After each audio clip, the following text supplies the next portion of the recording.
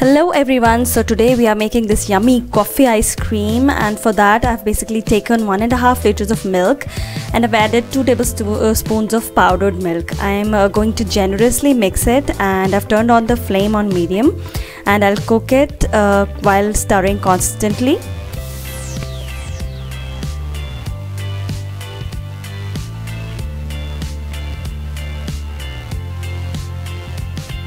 Here I'm going to add a 1 teaspoon of instant coffee and then I'm going to stir it and keep in mind that you have to continuously mix it because the flame is on and you have to make sure that uh, all the ingredients are mixed properly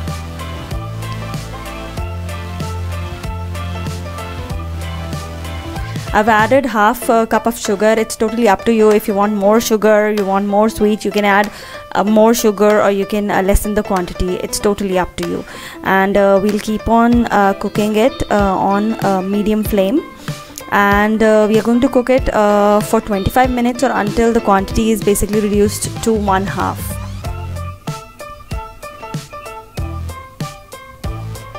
See now the quantity is reduced to almost one ha half and I'm simply going to let it cool uh, for half an hour uh, before we move on to the next step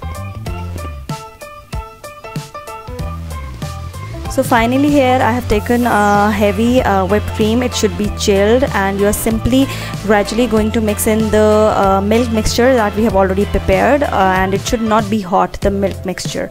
And just generally mix it and it was so messy that uh, I had to make a lot of effort because the cream is too thick and the mixture is a bit um, light.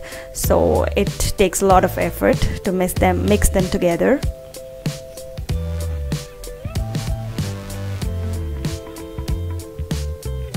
so finally after a lot of hair effort and mess I've mixed them together and you have to freeze it for two hours. Instead you can also use condensed milk and mix coffee inside but I just wanted to make it more healthier so I made the mixture at home. So we are going to place it in the freezer for two hours.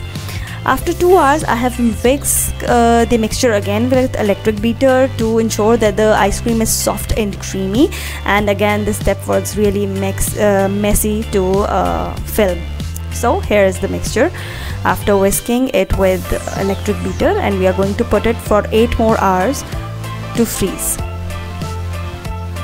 So you can see finally our creamy and soft ice cream is ready after 8 hours.